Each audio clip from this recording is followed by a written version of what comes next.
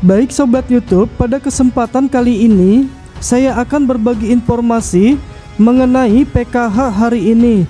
Ada dua informasi penting hari ini bagi para KPM PKH dan BPNT yang sudah cair bantuan PKH tahap ketiganya maupun bagi yang belum cair bantuan PKH tahap 3 dan BPNT-nya.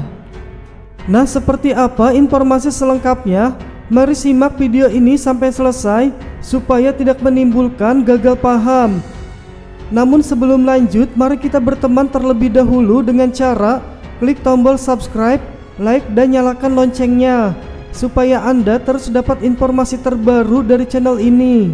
Baik kita lanjutkan info PKH hari ini selanjutnya. Nah, pada kesempatan kali ini saya akan memberikan informasi penting. Yang pertama, yaitu bagi para KPM PKH dan BPNT yang akan cair bantuan PKH tahap 3-nya dan juga bantuan BPNT-nya periode bulan Juni dan Juli tahun 2022. Cara mengetahuinya ini bisa dicek di aplikasi 6NG. Namun aplikasi 6NG ini tidak bisa semua orang mengaksesnya. Nah, yang bisa mengaksesnya itu adalah operator desa setempat dan juga pihak pendamping sosial PKH di mana KPM itu berada. Nah, di dalam aplikasi 6NG tersebut itu akan bisa dilihat apabila periode salurnya adalah Juni tahun 2022. Kemudian keterangannya adalah sukses omspan atau sudah SK ataupun calon penerima bansos. Nah, apabila kalian statusnya seperti yang sudah saya sebutkan tadi, maka bisa dipastikan bantuan BPNT kalian itu akan cair kembali. Namun apabila kalau kondisinya berbeda dari yang saya sebutkan tadi, seperti periode salurnya bukan BPNT periode bulan Juni, maka bisa dipastikan bantuan BPNT-nya itu tidak akan cair.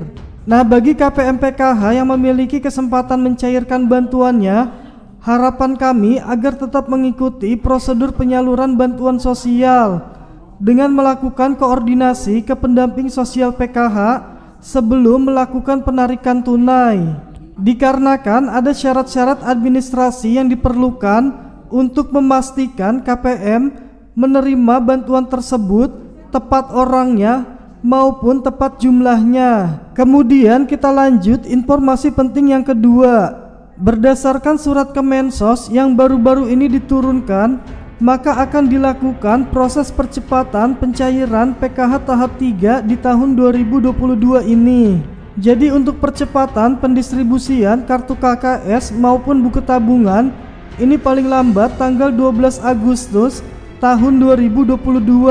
Kemudian hasil laporan percepatan dan pendistribusian buku tabungan dan kartu KKS itu harus disampaikan kepada Direktur Jaminan Sosial paling lambat tanggal 15 Agustus tahun 2022 dan ada himbauan bagi para dinas sosial di seluruh kota atau kabupaten di Indonesia.